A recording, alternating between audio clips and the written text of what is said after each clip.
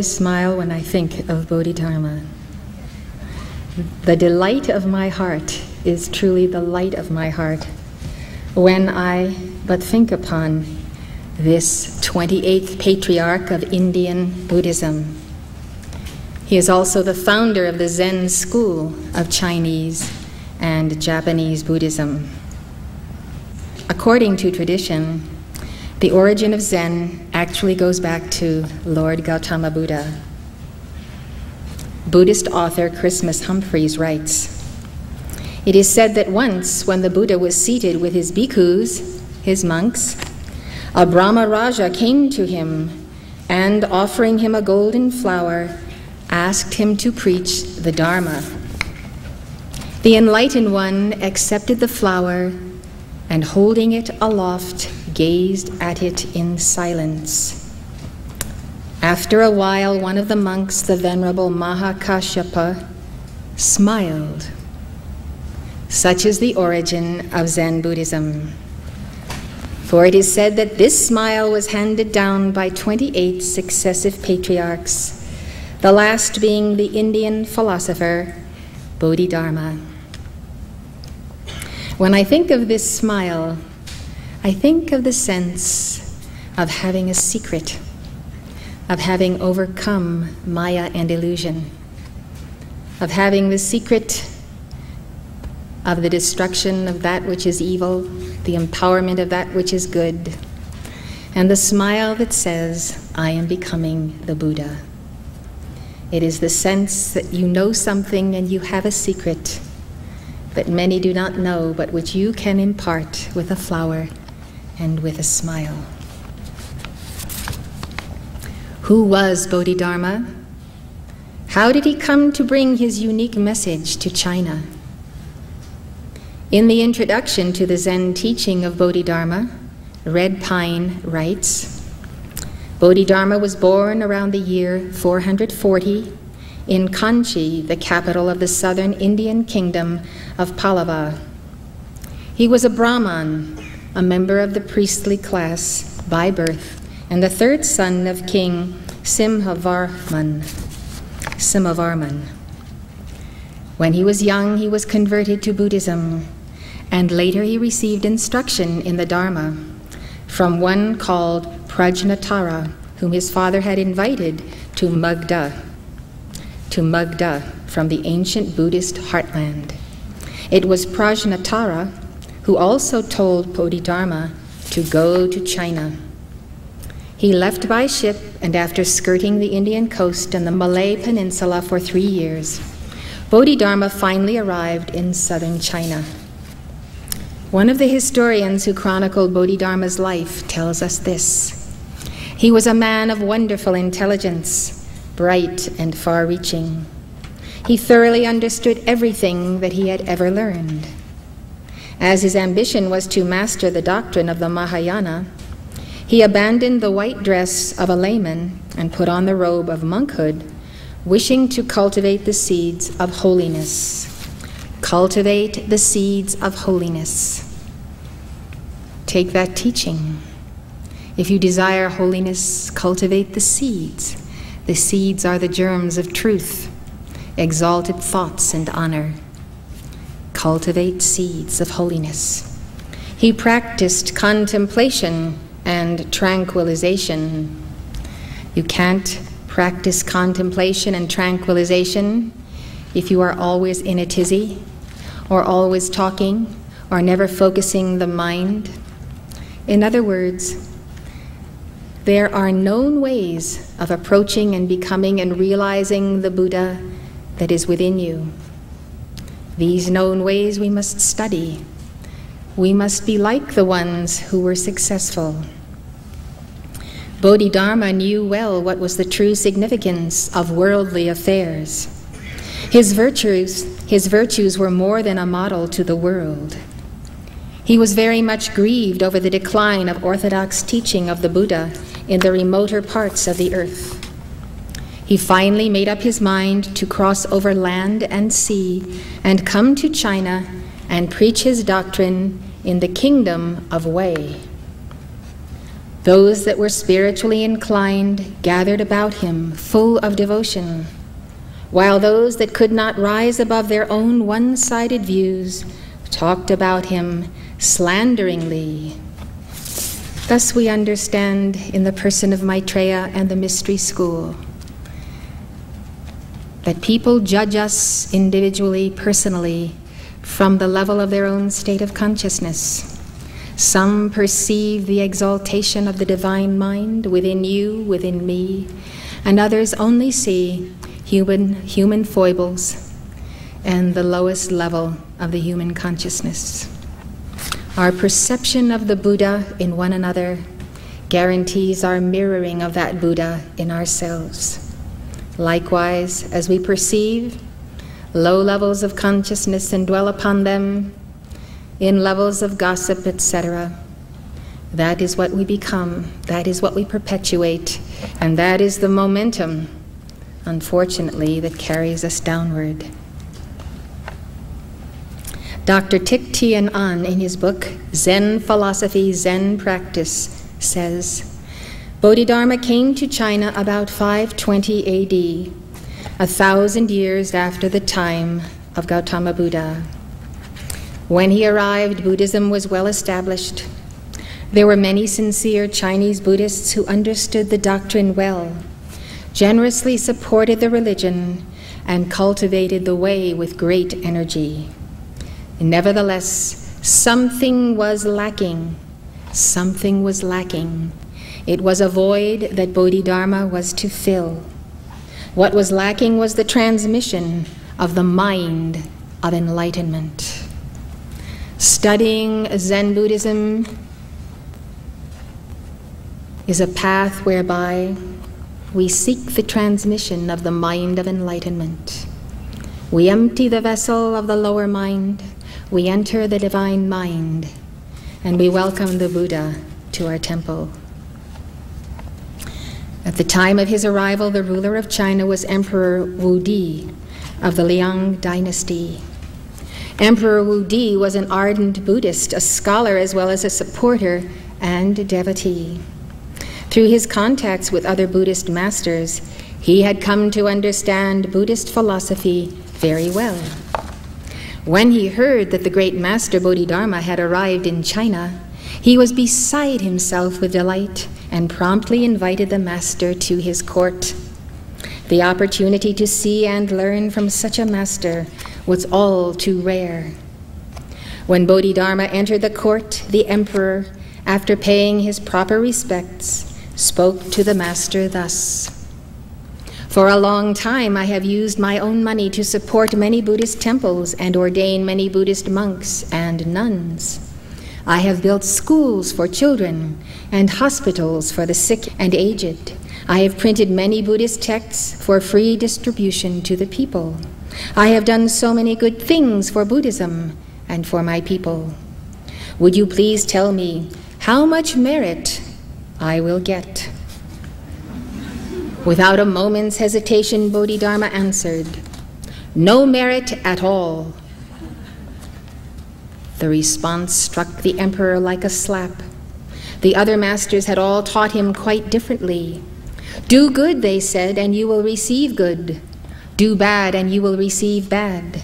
Effects follow causes as shadows follow figures.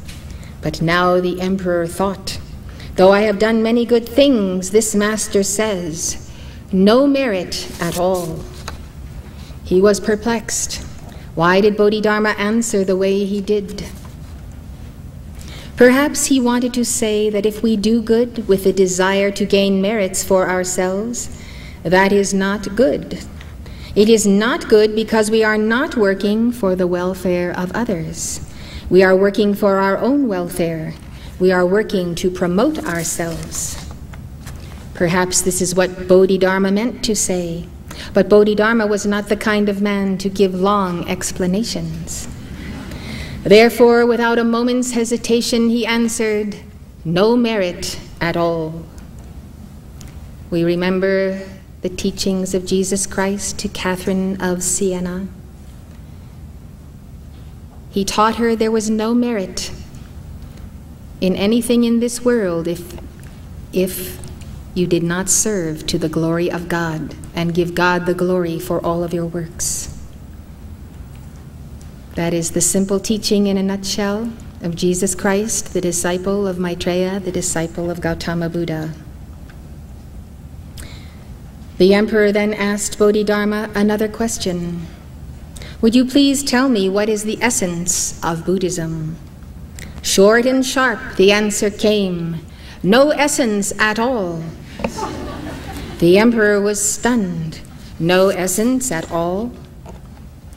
When he had asked the other masters this question, they explained with many words, arguments, illustrations, and proofs the basic doctrines of Buddhism. One showed that the doctrine of cause and effect is the essence of Buddhism, another, the theory of karma and rebirth, another, the Four Noble Truths, the Eightfold Noble Path, the Bodhisattva ideal, etc. But here is this great, highly respected master, and he answers, no essence at all.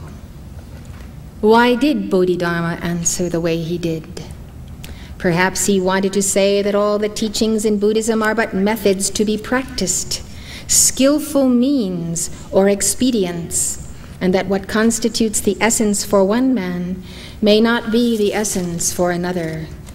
Or perhaps he wanted to say that the original mind of enlightenment is the all illumining void in which there is nothing to be grasped and no one to grasp, and therefore no essence at all. But, but Bodhidharma was not the kind of man to waste words. Therefore, short and sharp the answer came no essence at all. This answer did not please the emperor However, he tried to be patient and asked one more question of Bodhidharma. You say that according to Buddhism, everything is nothing, that all things have no essence. Well, then, who is he that is talking with me now? Bodhidharma answered, I do not know. this reply shocked the emperor. He lost his patience, dismissed Bodhidharma from his court, and retired to his chambers, his head swirling in confusion. Meanwhile, left to himself, Bodhidharma thought, This man is a Buddhist scholar, and yet even he could not understand. Perhaps conditions are not yet favorable enough for me to teach. So he went to the Shaolin monastery in the state of Wei sat cross legged before a wall, and entered into a deep state of meditation. So it goes that he sat like this for nine years, waiting for conditions to ripen, waiting for someone to appear who would be capable of receiving the transmission of the wonderful Buddha mind. That priceless treasure he had traveled all the way from India to China to transmit. Red Pine says Bodhidharma is said to have spent nine years in meditation, facing the rock wall of a cave about a mile from the temple. Shaolin later became faces, famous for training monks in gongfu, known to Americans as the martial art Kung Fu. And Bodhidharma is honored as the founder of this art as well. Bodhidharma's years of concentrated meditation earned him the title Wall Gazing Brahman. Some Zen Buddhists do not take Bodhidharma's wall gazing literally. Instead, they say it is symbolic of the state of desirelessness and the strong mind that is necessary to achieve enlightenment. I believe that the wall gazing was a very physical experience of Bodhidharma a way in which he was sending a message, and to those who would have an ear to hear and be able to observe, they would understand why he was wall gazing, why he was meditating, and why wall gazing, because it is a total preoccupation, shows that one is free from all desires. If you have no desires, perhaps you could go out and gaze upon a wall for any length of time for you would have no other desire. Buddhist scholar D.T. Suzuki believes that the deeper meaning of Bodhidharma's wall gazing may be related to the Buddhist teaching that only the strong mind is characteristic of one who can enter upon the realm of reality. So long as there are pantings or gaspings in the mind, it is not free, it is not liberated, says Suzuki. A strong mind is your most important tool in this lifetime all lifetimes. If your mind is not strong, if it is weak, if it can be pulled to the left and the right, drawn here, drawn there, moments after you have made a resolution to do this or that, if you do not have a strong mind, you will not be able to outpicture the strong Buddha. Heed these words. It is key to your victory. If your mind is not strong, your brain is not strong, your organs are not strong, heal them Heal them by ways we have shown and taught you in the physical. The mind must be strong or firm and steady, self possessed and concentrating, simply not moved from its resolution. Bodhidharma taught this concept to his chief disciple when he told him Externally, keep yourself away from all relationships, and internally, have no pantings that is, hankerings in your heart. If you hanker after this and you hanker after that and you hanker after the next thing, how long will it take you to sustain the mind of Buddha where you are? Each interruption, each disruption of the joy of internalizing the Buddha weakens your resolve, weakens the momentum. It's like starting and stopping a train or a car. Start and stop and start and stop. Pretty soon you are frantic and you live your life in a frantic sense of starting and stopping instead of controlling the mind, therefore controlling one's environment by the mind. This is Zen. It is the point of Zen. Bodhidharma said to his chief disciple, when your mind is like unto a straight standing wall, you may enter into the path. Artists often portray Bodhidharma's fierce concentration by depicting him with bulging eyes and a gruff, intense demeanor. This is a slide of him in that demeanor. This is a very telling slide, a very telling rendition of Bodhidharma, which we'll get to later. Alan Watts explains in his book, The Way of Zen. A legend says that Bodhidharma once fell asleep in meditation and was so furious that he cut off his eyelids, and falling to the ground, they arose as the first tea plant. Tea has thereafter supplied Zen monks with a protection against sleep. We use bancha tea. Bancha tea is made from the twigs, the twigs of the tea plant. It has a minute amount of caffeine in, in it, whereas the leaves have a greater amount of caffeine. So when we are drinking the bancha tea, let us drink to Bodhidharma. Another legend holds that Bodhidharma sat so long in meditation that his legs fell off. Are not our legs the sustaining pillars of movement, of being? Why would his legs fall off? Hence the delightful symbolism of those Japanese Daruma dolls, which represent Bodhidharma as a legless, roly poly, so weighted inside that he always stands up again when pushed over. A popular Japanese poem says of the Daruma doll, such is life, seven times down, eight times up. Always coming up, never remaining down. During Bodhidharma's stay near the Shaolin monastery, he met the man who was to become his chief disciple. He was a scholar named Hui Ke. Ke begged Bodhidharma to teach him, but the master just ignored him. Scholar Heinrich Dumoulin paints the scene. Determined to attain the Tao, the highest enlightenment at any cost, Hui Ke besieged Bodhidharma day and night with his entreaties. Bodhidharma, however, paid no attention to him. On the 9th of December, the chronicle marks it well, the decisive moment arrived. It was an icy cold winter night. A storm was raging and the wind was whipping the snow about wildly. Moved to compassion, the master looked upon the figure standing there motionless before him in the cold and asked him what he wanted. In so doing, he let him know that one final, decisive effort was needed. Hui Ke drew out a sharp knife and cut off his left arm at the elbow, presenting it to Bodhidharma.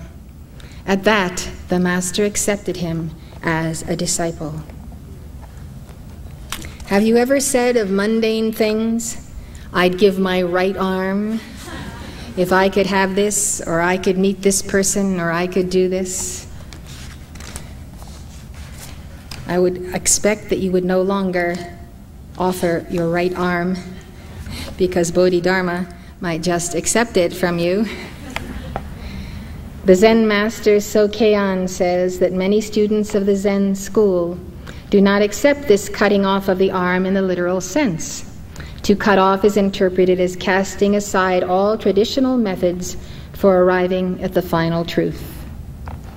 It is very clear that this disciple was determined to become the disciple of Bodhidharma and that he was willing to make the ultimate sacrifice in order to receive the training. I know people who avoid me always because I might give them some teaching or might give them some correction. But I'm still here and I'm still waiting. And if you want some teaching or some correction, don't fear. Don't fear to change your mind, to change your thought patterns, change your feeling patterns. You have to ask yourself, what do I want to give up of this life that is worth giving up so that I may have the jewel of enlightenment? You can't have all the baggage of the world and enlightenment at the same time for the simple reason that if you have all the baggage of the world, you spend all of your life tending to that baggage of the world and all of your possessions. So as you let go of them, you are free to pursue single the single path of enlightenment. Dr. Thich Thien An describes the next part of the legend. Seeing the sincerity of the monk, Bodhidharma realized that here was a man capable of receiving the Dharma. Write that question down in your notes. Am I one who is capable of receiving the Dharma? What is the Dharma? The Dharma is the great law, it is the divine law, it is the great wheel of the law in action in our causal bodies. If we cannot receive the whole Dharma, can we receive a portion of the Dharma? A crumb of life and then the whole loaf? When Bodhidharma asked him, What do you want from me? Hui Ke replied, For a long time I have tried to keep my mind calm and pure by practicing meditation. But when I meditate, I become bothered by many thoughts and cannot keep my mind calm. Would you please tell me how to pacify my mind? Bodhidharma smiled and answered. Each time I hear about Bodhidharma smiling, I always smile. Bodhidharma said, Bring me that mind and I will help you pacify it. Hui Ke stopped, searched within, looking for his mind, and after a time said, I am looking for my mind, but I can't find it. There, Bodhidharma declared, I have already pacified it. With these words, Hui Ke's mad mind suddenly halted. Suddenly halted. Are you observers of your mind? How many of you really take time to observe what your mind is doing? Wonderful. Well, keep doing it. Keep observing your mind. Observe how the mind works when you have proper prana, air, exercise, the proper food. And think of the times of the day, the meridians on the clock, when this or that or the next organ is not functioning as well as it does when it is at its best. And if you look at the clock of your day and you look at the Chinese wheel of the meridians, and you see how every day at a certain time you have a drop in energy, and every day at a certain time you are at the zenith of your attunement with God, you feel like you could just go up the shaft of your crystal cord and be at one with a whole universe in your causal body. Most of us have a very regular clock, but we don't pay any attention to it. Sometimes, when we are at the height of attunement, we think, well, I will be thus attuned for the rest of my life. But two or three hours later, after a meal or the wrong meal, we think of ourselves as dense and not able to be creative or do a thing. So, knowing the signs of the clock, of the working of the mind, means that you know what time of day you have the greatest contact with God or the contact with your own calling, your creativity, what you must do in this life, the balancing of your karma. So let us think more about observing the mind and then getting fed up with the sloth of the mind when it's not working properly and we are not really doing anything that is worthwhile. And so for Hui Ke, a veil lifted. A veil lifted, and he was enlightened. What I learned from this teaching is the following The more we surrender, the more we realize that nothing of this world really means anything to us, that what we are really seeking is enlightenment. Such as this disciple who followed Bodhidharma and followed him until finally he was accepted and Bodhidharma was convinced that he had the determination to see through this path. Because he gave so much, which was all of his life, for the gift of enlightenment, the very first lesson that is recounted, he receives a lifting of the veil of that human consciousness and enters into the enlightenment through the crown chakra. When he took the mind to be real, then the wandering mind disturbed him in his meditation. But now that he could not find that wandering mind, he realized the mind is no mind, that nothing can be disturbed. I'll read that to you again. These are the mysteries of Zen. Hui Ke, when he took the mind to be real, then the wandering mind disturbed him in his meditation. If you think your mind is real, then you are giving it the power to disturb you, no matter what it is doing. But if he could not find the wandering mind, he realized that his mind was no mind, and therefore that something that is nothing cannot be disturbed. And from that no mind, he realized the one mind. The no mind is the mind emptied, the mind that is not a mind at all. When we get rid of that mind, this vessel is a vessel exclusively for the divine mind. We may perceive the divine mind through the central nervous system, through every cell of our body, through every organ.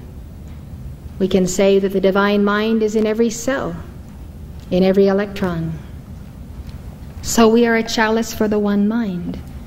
But if we are determined to go through the human mind, or to, to depend upon the brain, then we will not have the emptiness to receive the one mind. And the one mind is a capital O and a capital M, and it is hyphenated. One mind, no mind. They are both hyphenated. You're watching Elizabeth Clare Prophet, world renowned author and founder of Summit University. Summit University is located at the beautiful Royal Teton Ranch in Park County, Montana, just north of Yellowstone National Park. If you'd like more information, call 1 800 245 5445. That's 1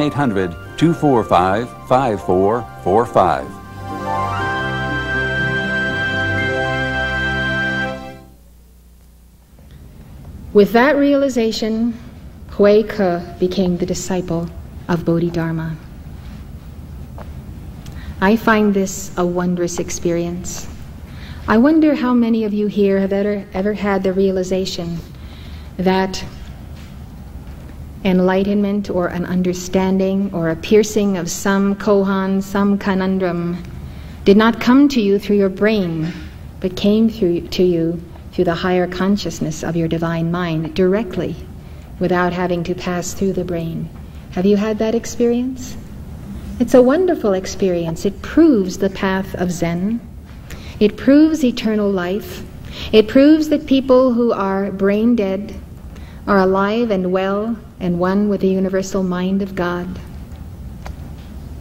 It proves that we exist apart from this body. And the more we enter the Dharma, the Dharmakaya, and then the body, the Nirmanakaya, the Sambhogakaya representing the Christ, and the Nirvana, Nirmanakaya, the lower self. When we enter those vessels and build those vessels, we are weaning ourselves from dependency upon the flesh. And that dependency makes us fear death, fear the afterlife, fear our beginnings and our endings and our days. The joy of Zen is to daily internalize eternal life, the infinite nature of being, and the Buddha mind. After Bodhidharma's passing, Hui Ke, who had become his disciple, inherited the robe and bowl and became the second patriarch of Chinese Zen Buddhism. Although Bodhidharma is spiritual father to millions of Zen Buddhists today, he evidently had few followers in his own lifetime. The chronicles of his life mention only three disciples According to one account, Bodhidharma died after he was poisoned by a jealous monk. Another account says he died of old age, sometime after his rivals had tried to poison him five times. Red Pine says, according to Dao Yuan, Bodhidharma's remains were interred near Luoyang at Dinglin Temple on Bear Ear Mountain.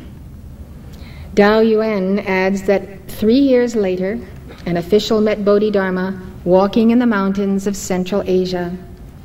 He was carrying a staff from which hung a single sandal, and he told the official he was going back to India. Reports of this meeting aroused the curiosity of other monks who finally agreed to open Bodhidharma's tomb. But inside, all they found was a single sandal. And ever since then, Bodhidharma has been pictured carrying a staff from which hangs the missing sandal. And we are still waiting for the other sandal to drop. Tradition says that Bodhidharma brought a special message from India to China, which encapsulates Zen philosophy.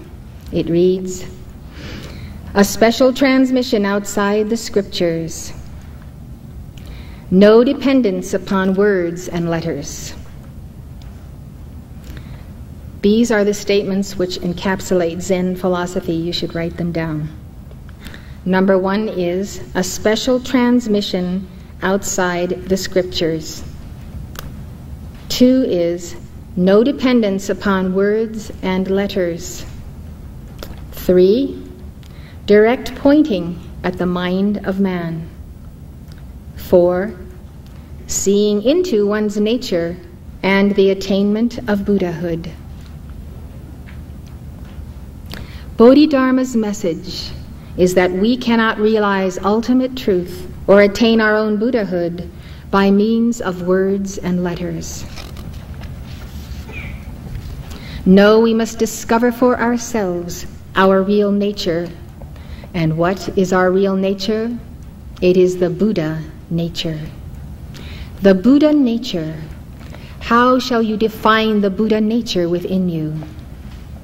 You will think upon those virtues and attributes that you would imagine Bodhidharma, Gautama Buddha, Amitabha, five Dhyani Buddhas, and many, many other Buddhas unnamed.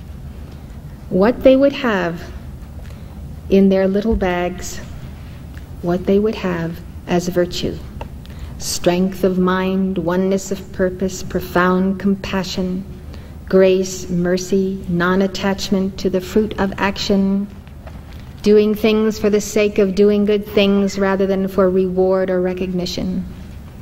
Think of all those qualities you would imagine the Buddha to have and realize that those qualities are the Buddha nature.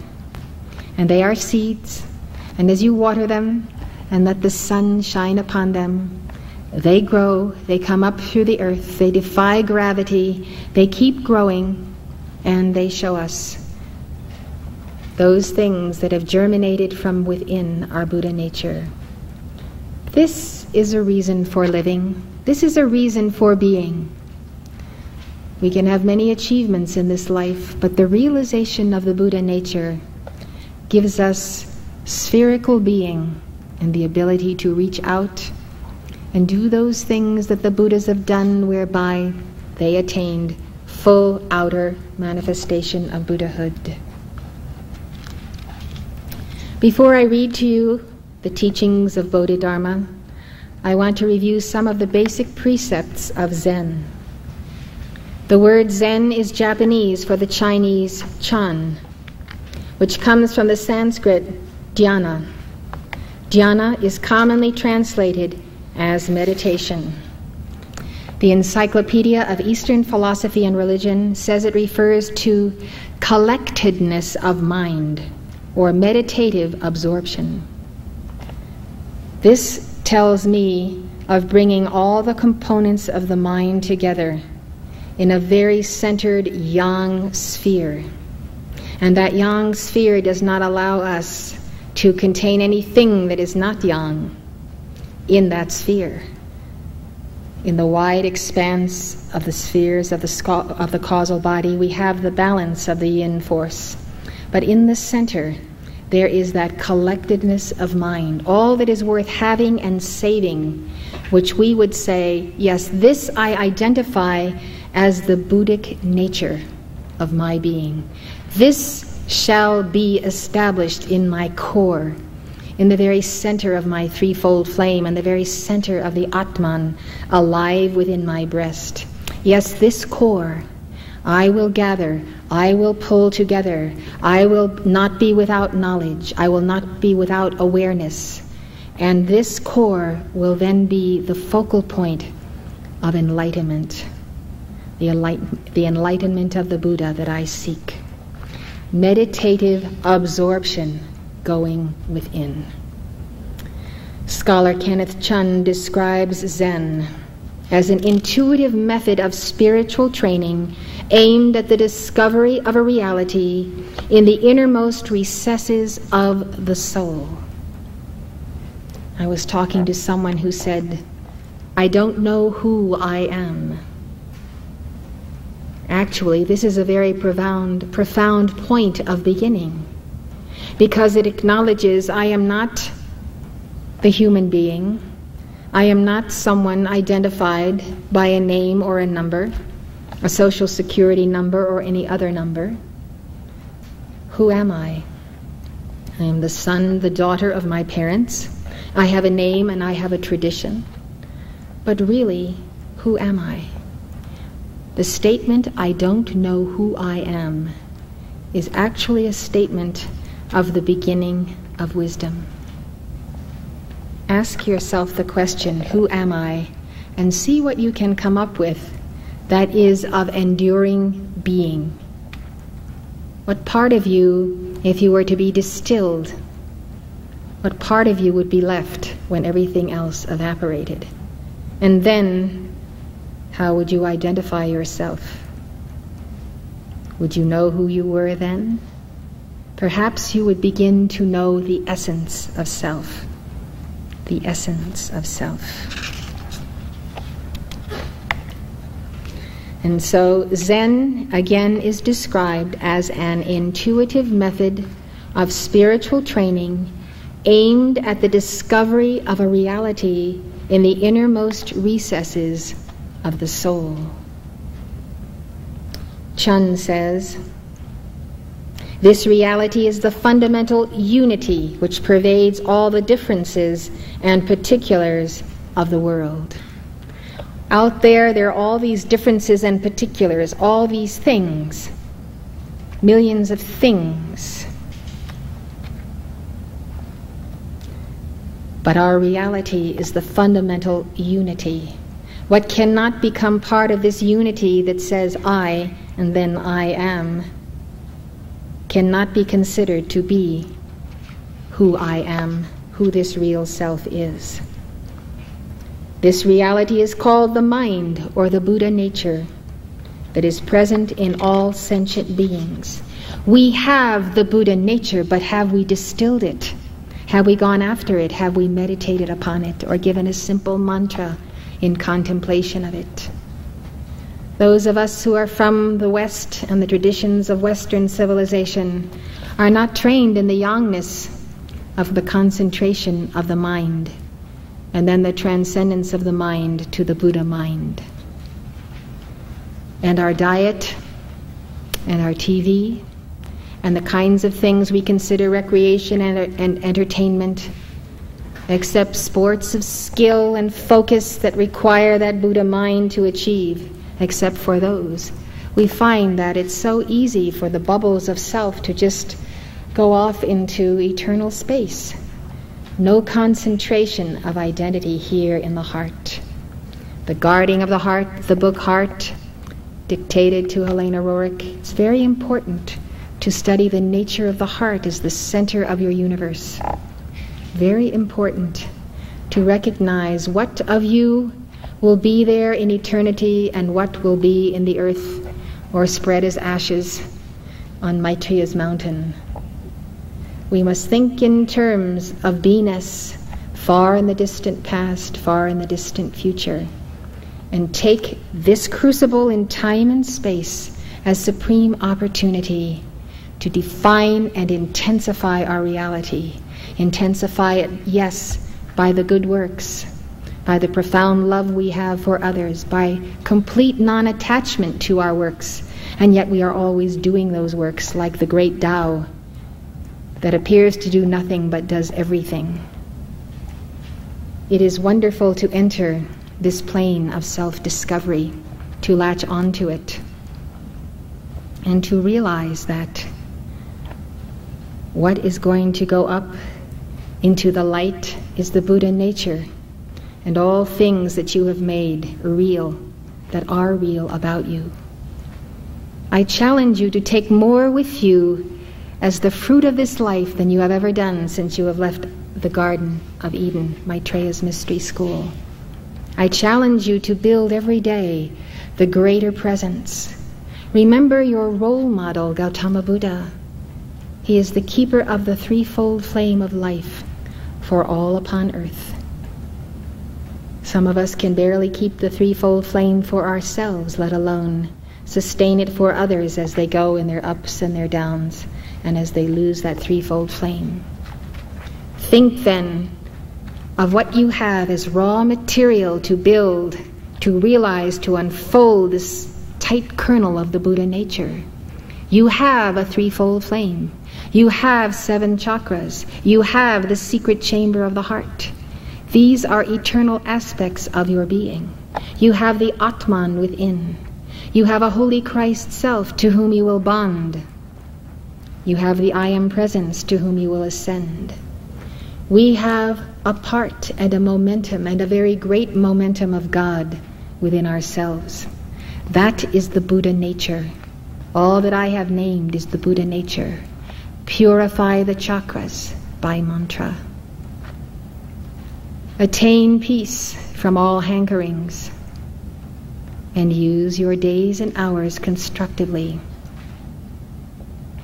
as you strengthen by your mantras the great Antakarana, comprised of all souls of light who have the Buddha nature.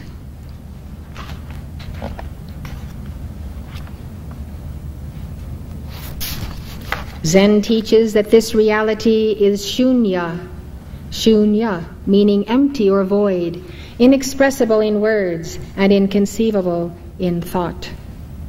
To illustrate this, the Zen masters often resorted to silence or negation to express the truth. Being inexpressible and inconceivable, this reality, or the Buddha nature, can only be apprehended by intuition directly, completely, and instantly. Write down those three words directly, completely, and instantly.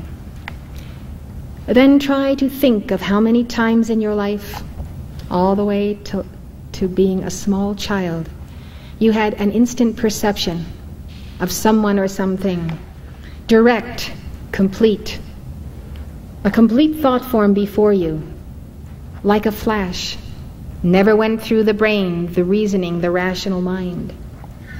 Cultivate this. Empty the mind. Be ready for the direct transfusion from the mind of Buddha to your Buddha nature. Give the mantra, I am changing all my garments, old ones for the bright new day. With the sun of understanding, I am shining all the way. I am light, the Buddha light. I am light within, without. I am light is all about. Fill me, free me. Purify me, heal me, seal me, purify me until transfigured they describe me I am shining like the sun. I am shining like the sun. This is a pivot decree in our heart, head, and hand decrees. Seal me, heal me, purify me. Because it spells change second by second and moment by moment. Each time you give that decree, you are not the person you were the second before you gave it because it is a decree of transfiguration and self transcendence.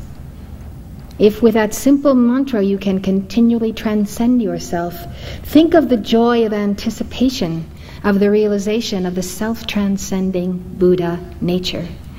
Nothing is static, nothing is still. Only death is still and static. But we are moving on. We are changing the garments of the mind. We are putting on the garments of the Buddha nature. This is why it's exciting to be on earth, because earth is the launching pad for our self transcendence. And what a glorious place and retreat God has given to us to realize this. How grateful we are.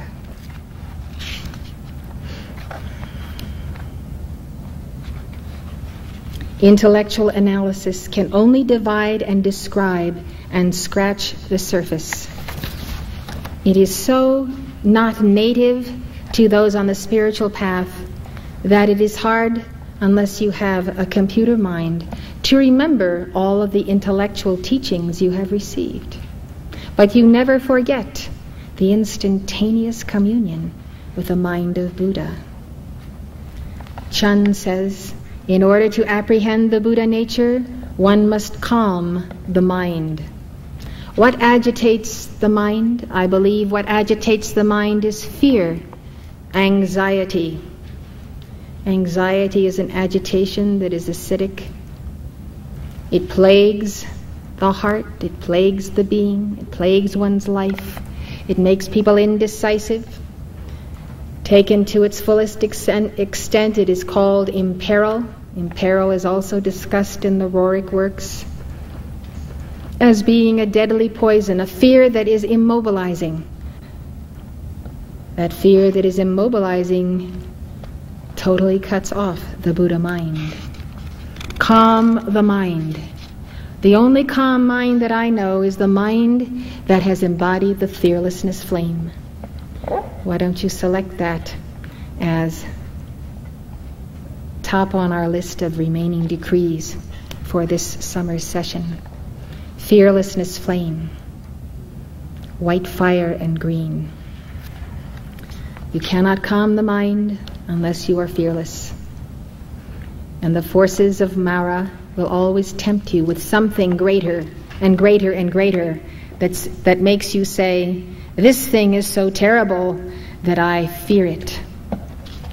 You have to make your peace with fear and every calamity that can come upon you throughout the world, throughout your lifetime. Make your peace with the calmness of the Buddhic nature and know that because you have embraced the will of God, God will sustain you. You will be tempted by fearsome odds of demons and fallen ones, just like Gautama Buddha, as you have learned about Siddhartha. Just know that if you fear nothing, nothing can move you. If God is there, and He is, there is nothing to fear.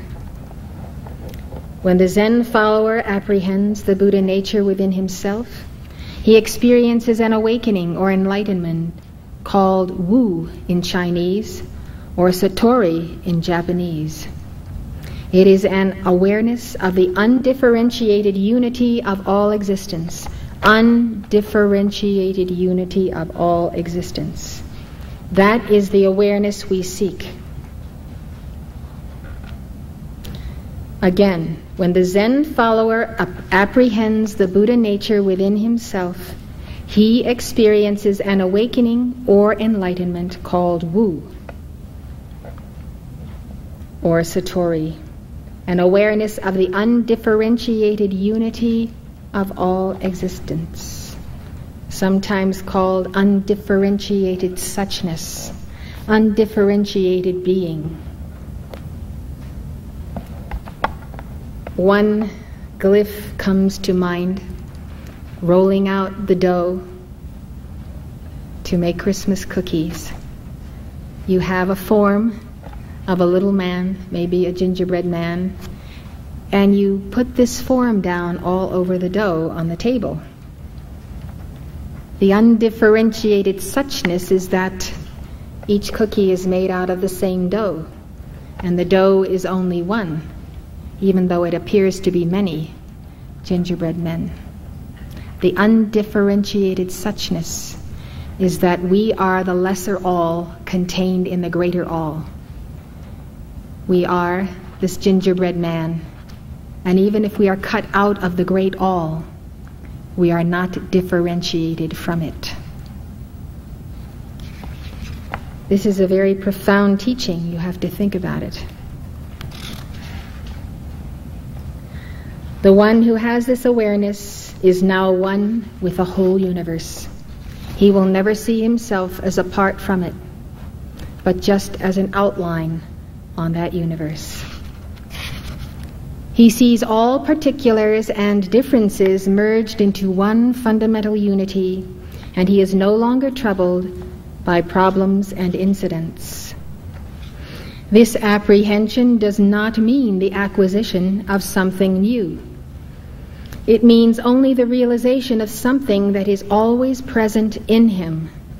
Have you found that essence of your being that is always present in you? If you have not, you may very well ask, Who am I?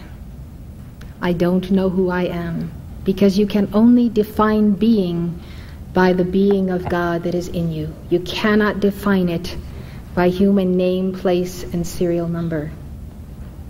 The only trouble is that he is not aware of this because of his ignorance and folly. It means only the realization of something that is always present in him. But he is not aware of this because of his ignorance and folly.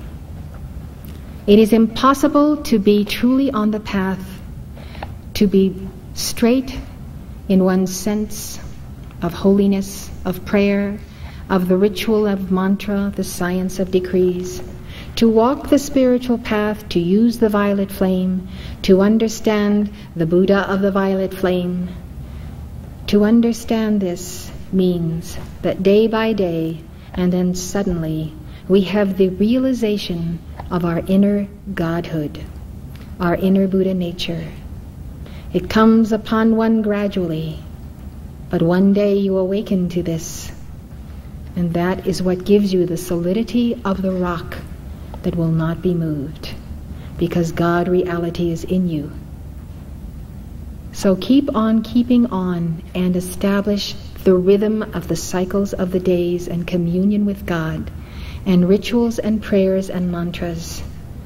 And let not the anti Buddha nature, the anti Buddha being the dweller on the threshold, take from you this glorious path that you can achieve and realize, I promise you, in this life.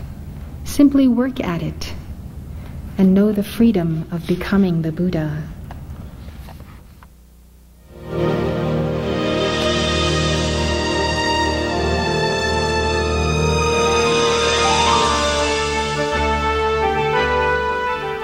For more information on Elizabeth Clare Prophet's prophetic vision and spiritual solutions, call 1 800 245 5445. The preceding program was presented by Summit University, Box 5000, Livingston, Montana, 59047 5000. If you'd like to know more, call this number or write this address.